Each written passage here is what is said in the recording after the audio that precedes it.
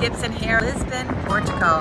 And look behind me what I woke up to. Such history here, but I had to share this with you today. The hilltop, the center of Portugal, and so grand. Paris, they have a bridge of locks and they have it here too in Portugal. As you can see here, the cathedral is also right behind me. Cobblestone, it's just breathtaking. I'm in Rue de Carmo Street. Check it out, all the shops. You like my hat. What do you think?